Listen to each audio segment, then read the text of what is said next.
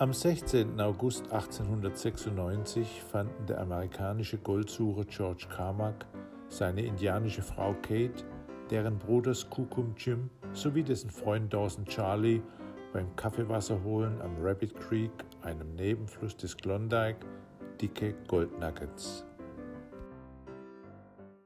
Was darauf folgte, war der größte Goldrausch aller Zeiten.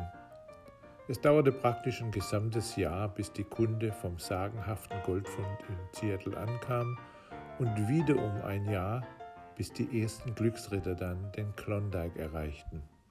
Der schnellste, billigste, aber auch härteste Weg für die Goldsucher führte mit dem Schiff durch die Inside-Passage nach Skagway und von dort aus zu Fuß über die berühmt-berüchtigten Himmelstreppen des Chilkoot-Passes. Einfach war das nicht.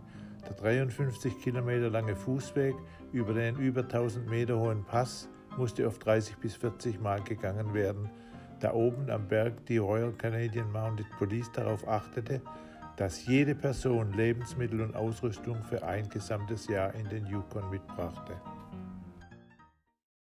Noch heute finden sich überall im Yukon Überbleibsel aus jener Zeit.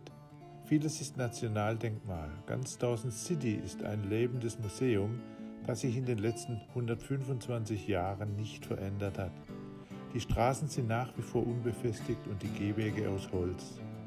Dort sieht man auch noch die wellenartigen Steinhaufen, Überbleibsel der Schaufelradpacker. Übrigens, der größte damals gebaute, die Dretsch Nummer 4, ist noch am Bonanza-Krieg zu bestaunen. Gebaut von den Guggenheims und den Rothschilds hat das Ding damals zu Hochzeiten sagenhafte 800 Unzen Gold am Tag gefordert. Das sind 22,5 Kilo.